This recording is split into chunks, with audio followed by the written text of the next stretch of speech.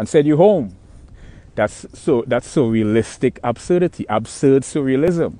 So absurd surrealism now, absurd surreal, sur, abs, absurd surrealism is where this the the surrealism is is absurd. There's an absurdity to the surrealism. Like let's say I have an ice cream hammer.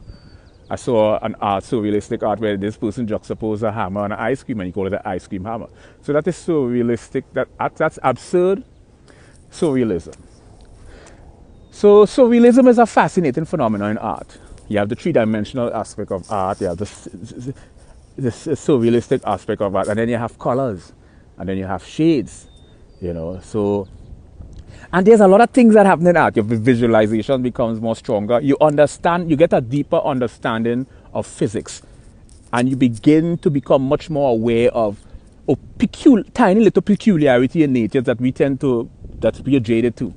That's oblivious to our, uh, our vision. That only becomes clear when we start to look at art. We realize that the things that we very seldom see or take for granted are conducive or contingent on this three-dimensional depiction on a two-dimensional surface.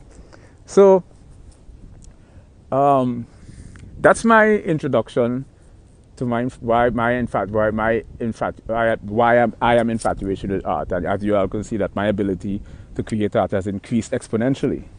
You know, I do